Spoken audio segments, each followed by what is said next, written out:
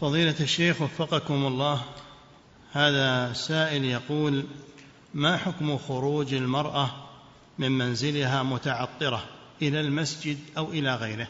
حرام عليها. حرام عليها أن تخرج إلى المسجد متعطرة أو إلى السوق ولابس لباس الزينة.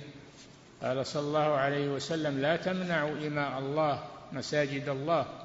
وليخرجن تافلات يعني لابسات لباس لا يلفت النظر ليس فيه زينة ليس فيه طيب. نعم.